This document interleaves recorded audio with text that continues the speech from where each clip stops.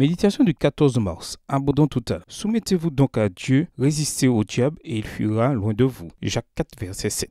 Le 9 mai 1945, la Seconde Guerre mondiale a pris fin en Europe avec la capitulation de l'Allemagne. Ce jour-là, les officiers de l'Allemagne nazie ont signé leur édition, totale et inconditionnelle. Maurice Van Den s'appuie sur cet événement pour illustrer notre dévouement à Dieu. Quand les puissances de l'Axe se sont rendues à la fin de la Seconde Guerre mondiale, qu'ont-elles rendu? Ont-elles seulement rendu leurs armes et leurs munitions? N'ont-elles renoncé qu'à leurs seuls chars et grenades, uniquement à leur uniforme ou ration? Ou leur a-t-on demandé de se rendre en personne? Et quand elles se sont rendues, ont-elles automatiquement rendu aussi les armes, les bombes, les chars, tout? Se rendre ne peut se faire petit à petit. On ne peut pas le faire de façon partielle. De même qu'une femme ne peut tomber enceinte qu'à moitié, personne ne peut se rendre partiellement ou se rend ou ne se rend pas. Il n'y a pas de terrain neutre. Extrait du livre de Maurice Vendez, 95 Thesis ACK de la justification pour la foi. 95 thèses sur la justification par la foi, les pages 68 et 69. Il en va de même dans le grand conflit, la lutte entre le bien et le mal. La Bible dit que nous devons nous rendre, nous abandonner à Dieu complètement. Il ne s'agit pas d'un abandon partiel de soi. Chacun aura une lutte ardente à soutenir pour triompher du péché dans son propre cœur. C'est parfois décourageant parce que nous voyons les défauts de notre caractère. Nous nous arrêtons à les considérer alors qu'il faudrait regarder à Jésus et revêtir sa robe de justice. Tous ceux qui pénétreront dans la cité de Dieu par les portes de perles y entreront en vainqueurs. Et leur plus grande victoire sera celle qu'ils auront remportée sur eux-mêmes.